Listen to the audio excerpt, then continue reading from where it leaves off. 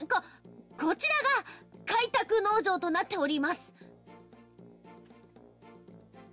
姫様いきなり敬語などお使いになってどうされたのです？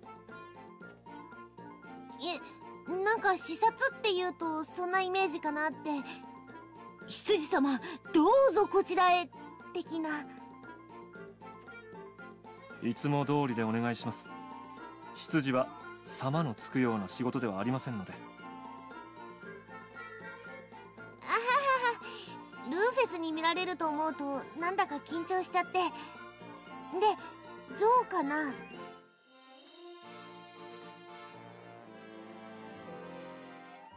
あのうっそうとした森がここまで。見違えるようですね。正直驚きました。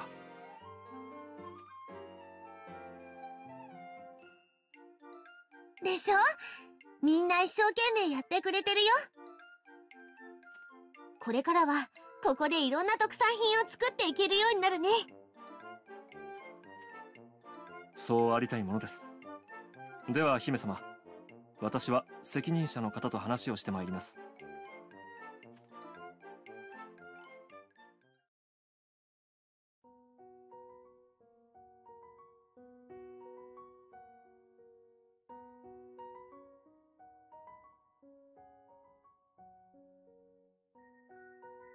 お待たせしました。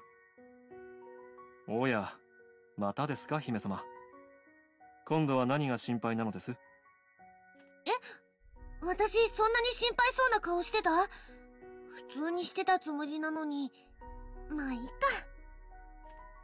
畑にするためなのはわかるけどもしかして森にとっては迷惑なことをしちゃってるかもって。なるほどでは一つ姫様のそのご心配を払って差し上げましょう。姫様が今ご覧になっていたあたりの地面もう少し注意深く観察なさってください。ん？あ本当だ！ぴょこぴょこいっぱい芽が出てる！あの若木たちはこの辺りの老木をきれいに切り倒したことで芽吹くことができたのです木を切ったから芽が出る？どういうこと？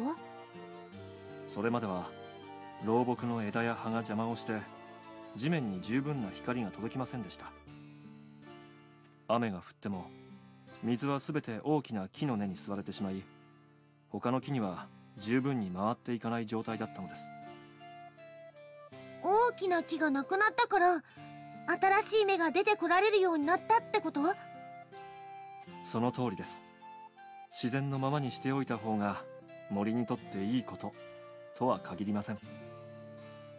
こうして古い木を切り地面を掘り返しほぐしてやることで森全体に新しい活力を与えることができます。なるほどね。私たちが手を入れることが逆に森にとっても必要なことになるんだね。分かっていただけましたか？それではそろそろ参りましょうか委託の中身のことなんてそこまで気にしたことなかったけど見る人が見るとちゃんと意味があるんだね。